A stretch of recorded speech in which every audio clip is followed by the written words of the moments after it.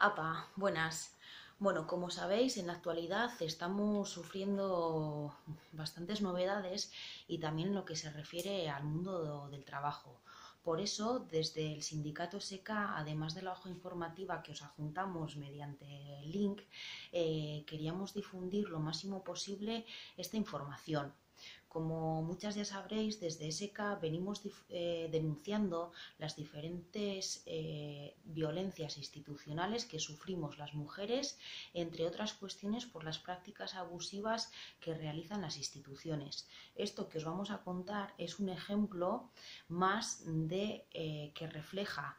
la doble discriminación o dificultad que tenemos las mujeres a la hora del reconocimiento de derechos, como en este caso el simple cobro del desempleo, por no hablar de otras cuestiones como pueden ser las eh, pensiones de jubilación.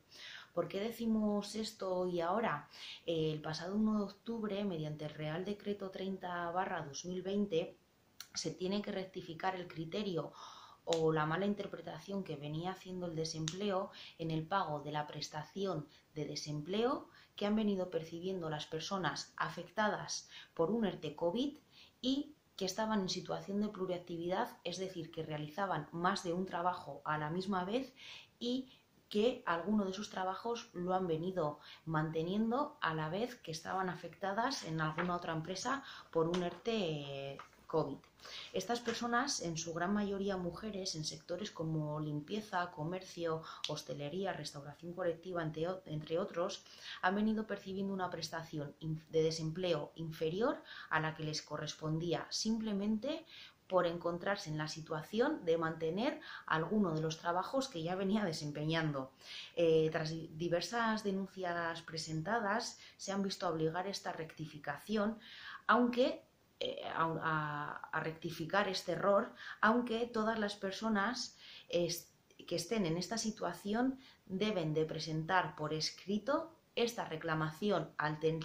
el SEPE antes del 30 de junio del 2021, aunque os animamos que lo empecéis a tramitar cuanto antes y como sabéis la asesoría jurídica del sindicato está abierta para todas estas cuestiones. Por este motivo lo que queríamos primero es informaros de que todas las personas deben de presentar ese escrito eh, ante el SEPE porque aunque han reconocido ese error en el cobro de la prestación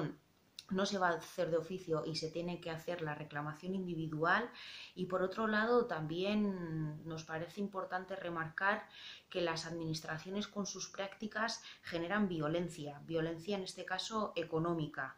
Queremos reivindicar eh, servicios públicos presenciales ya, que todas las medidas eh, deben de tener un enfoque de género que es necesario y que cese el fin de la discriminación que generan estas las instituciones.